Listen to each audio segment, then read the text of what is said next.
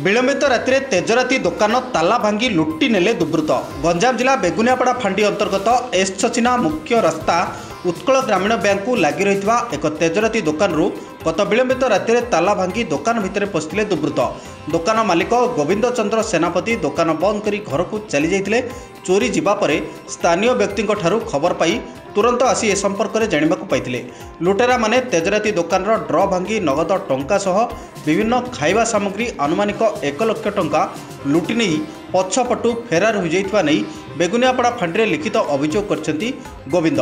ସେପଟେ ଦୋକାନଟି ବ୍ୟାଙ୍କର ପଡ଼ୋଶୀ ହୋଇଥିବାରୁ ବ୍ୟାଙ୍କରେ ଲାଗିଥିବା ସିସିଟିଭି କ୍ୟାମେରାକୁ ତଦନ୍ତ କଲେ ଲୁଟ୍ ସମ୍ପର୍କରେ ସୂଚନା ମିଳିବ ବୋଲି କୁହାଯାଉଛି।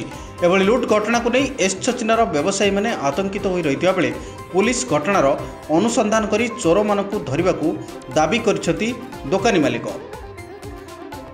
ଗୋବିନ୍ଦ ଚନ୍ଦ୍ର ସେନାପତି କ'ଣ ଘଟଣା ଘଟିଛି? ଗଲା କାଲି ମଧ୍ୟରାତ୍ରିରେ ଦୋକାନ ଭାଙ୍ଗି ଲକ୍ ଭାଙ୍ଗି ଭିତରେ ପଶି ନେଇଯାଇଛନ୍ତି କେତେବେଳେ? ପ୍ରାୟ ସାଢ଼େ ଗୋଟେ ଦୁଇଟା ଭିତରେ ତିନିଟା ଭିତରେ। ଆପଣ ସେତେବେଳେ କ'ଣ କରୁଥିଲେ? ଆମେ ସକାଳୁ ଭୋର ଶୁଣିଲୁ ଲୋକ ଯାଇ କହିଲେ। ଆଚ୍ଛା। କେମିତି ଚୋରି ହେଲା? ସେ ଲକ୍ ଭାଙ୍ଗି ଦୋକାନ ତାଲା ଭାଙ୍ଗିକି? ଭାଙ୍ଗିକିରି। କ'ଣ କ'ଣ? ଭିତର- ଭିତର ପଟୁ ବେଡ଼ା ଦେଇ ଦେଇକିରି ବାହାର କରିଛନ୍ତି ଆଉ। କ'ଣ କ'ଣ ଜିନିଷ ତେଲ ଆପଣଙ୍କର ପ୍ୟାକେଟ୍ ପ୍ୟାକେଟ୍ ଯାକ ବାହାର କରି ବସ୍ତାରେ ପ୍ୟାକ୍ କରିଦେଇଛନ୍ତି। ଆଚ୍ଛା। ଆଉ ହର୍ଲିକ୍ସ ଦୁଇ ପେଟି। ହୁଁ। ଆଉ ଅନ୍ୟାନ୍ୟ ଜିନିଷ। ହେଲେ କିଏ ଏପରି କରିଥାଇପାରେ? ଆପଣ କାହାକୁ ସନ୍ଦେହ କରୁଛନ୍ତି? କେଣେ ଆମେ ଦେଖିଛୁ ଅଜ୍ଞାତ ଯୁବକ ଗୋଟେ କିଏ ବସିଛି ଆଉ। ହଁ ହଁ। ଆଉ ଏଠି ଆପଣଙ୍କର ସିସିଟିଭି କେଉଁଠି ଅଛି? ସିସିଟିଭି ଆଗରେ ଅଛି ସେ ବରଗଛ ବିଶ୍ରାମ ବିଶ୍ରାମ ଗାଁର ଆଗରେ। ଆଉ?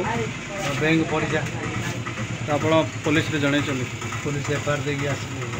କ'ଣ କହିଲେ କେତେ କେତେ ଟଙ୍କା ଆପଣଙ୍କର ପ୍ରାୟ ଲକ୍ଷେ ଟଙ୍କା ହେବ